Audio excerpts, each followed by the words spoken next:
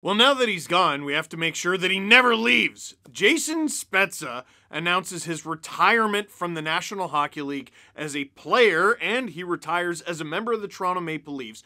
But he will be staying with the organization as a member of the front office. From the Leafs press release, Toronto Maple Leafs forward Jason Spezza has announced his retirement from the National Hockey League after 19 seasons. With his announcement, Spezza will be joining the Maple Leafs front office as special assistant to general manager Kyle Dubas, effective immediately. Now, I've seen a lot of reaction to this with people going, What the heck is special assistant to the general manager? And here's the great thing. Who knows? I mean, if he's special assistant to the general manager, it's entirely up to Kyle Dubas, isn't it? And in a way, it's also up to Jason Spezza. I've already spoken to a few people today who were wondering, oh, was Spezza forced into this by the Leafs? Because remember, he was a healthy scratch at times this season and during the Stanley Cup playoffs. Now, no, I don't think that's what happened at all. At the end of this season, Spezza said, I'm not going to play for any other team other than the Leafs. Heck, early last season, he got put on waivers and said, if you claim me, I'm just gonna retire. With today's announcement, we can be pretty confident that he wasn't bluffing. Do I think Spezza would have kept playing if it was an option to him? Yes. Do I think it was an option to him?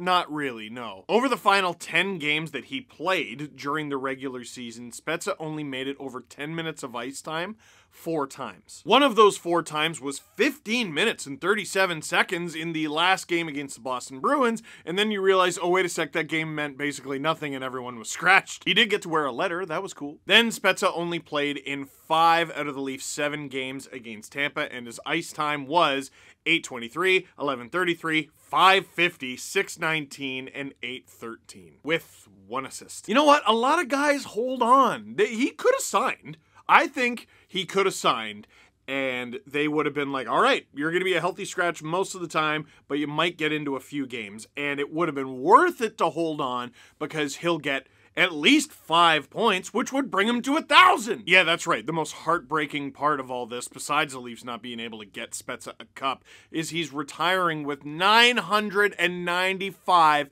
career points. Mike Babcock sitting at home like, damn, that's a shame. I thought he had four more in him. People don't forget, he would have got five in the home opener if you didn't put Nick Shore in. Anyway, this role with the Toronto Maple Leafs was the obvious next step in Jason Spezza's career, and he's choosing to take it now. And the Leafs, wisely, are clinging to Jason Spezza because what a player what a leader, what a teammate, what a person. Clearly beloved in the Leafs locker room. Has clearly essentially been a player coach for several years, a player assistant coach. I mean, I wouldn't be shocked to see him on the ice with the Leafs over the course of the summer, would you? And the role of special assistant to the general manager means he gets to essentially learn while on the job. Listen, there were rumors abounding that if the Leafs lose in the first round, Kyle Dubas might be going. Now, we already know by the sounds of it that's not going to happen. It'd be weird if it did at this point, based on everything that's happened and everything that the team has said. But it is true that one day Dubas will not be the GM of the Leafs. Who knows? Maybe he ends up doing this job for four more decades and they win a bunch of cups, I hope, and then he retires. In the event it doesn't go down like that,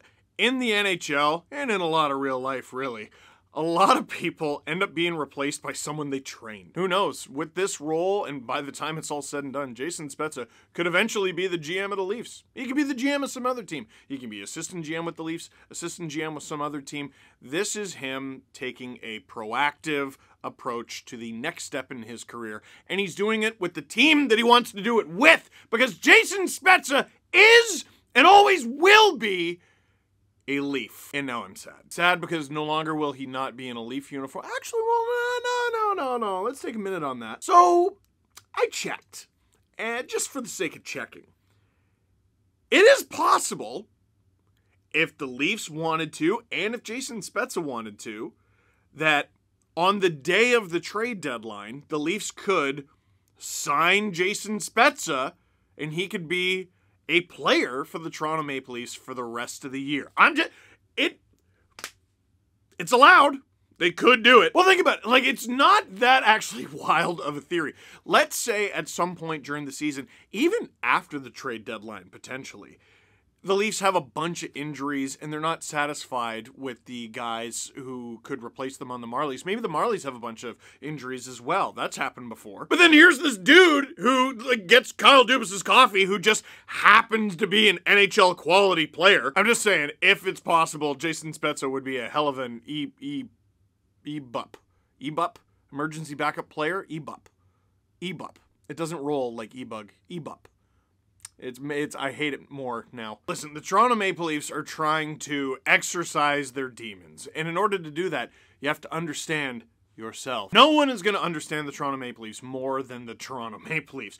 We know Dubas's thoughts on things. We know Keefe's thoughts on things from his unique perspective as coach. And now Spezza as a player gets to bring his unique perspective to it all. I mean, Sheldon Keefe played in the NHL as well, but Jason Spezza was on the Leafs a month ago, less than a month ago, it still hurts. Less than a month ago! During his tenure as a Toronto Maple Leaf, Spezza was determined to do everything he could to get the Leafs over the hump.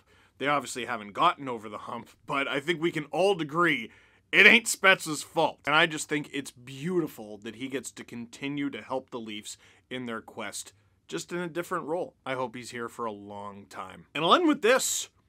How about CJ? Chris Johnston went on the Steve Dangle podcast. You might have heard of it on SDPN. And he did his, you know, end of season autopsy as he does. We played a little game called Staying or Going, where we took a look at a list of Toronto Maple Leafs. And I just said one word answer staying or going. So far, He's two for two. He said Spezza, staying not as a player. He got that right. Giordano, staying. He got that right. Simmonds, staying, but he said he might not play. We'll see. Engvall, staying. Mikheyev, going. Campbell, going. Mrazek, going. Kerfoot, going. Hall, going. And the three he was unsure about, Lyubushkin, Muzzin, and Blackwell. Now, he provided a little more than one word answers for some of those guys. Muzzin, in particular, is a fascinating one. Let's see if this undefeated streak keeps going for CJ. A key free agent name that I forgot to ask about in that segment is Ondrej Kase. But if you want to watch the segment, it's right there on the SDPN YouTube channel. P- Producer Drew, can you put it some somewhere? Can you? He'll he'll produce it somewhere. He didn't play here very long, but man, he had some great memories. So many just clap bombs. That bomb on the rush against Ryan Miller when he was with the Ducks. Oh, Sheldon Keefe righting a wrong from Spezza's healthy scratch in his what should have been his first game as a Toronto Maple Leaf, making him on the starting lineup on the starting line with John Tavares during the next generation game against the Carolina Hurricanes, December 23rd, 2019. And then Spezza ends up getting the goal on that shift in front of all his family and friends. The fight in game four while the Leafs were down 3 0 to the Columbus Blue Jackets. A goal so nasty that Auston Matthews on the bench was like, he could still put the points up, he could still snipe on you, and he was always willing to go toe to toe for his teammates. Jason Spezza, enjoy retirement, but it's hard to say goodbye when you're not actually going anywhere. Get it done, man get it done. So, what do you think of Jason Spezza's retirement and the fact that he's joining the Leafs front office in a special assistant to the general manager role? Leave a comment in the comment box down below, but for now, that is it for this one. Thank you very much for watching. Click like if you like this video. Click subscribe if you really liked it. Tell all your friends. I, th- I think you can still buy a Spezza jersey. It wouldn't be weird.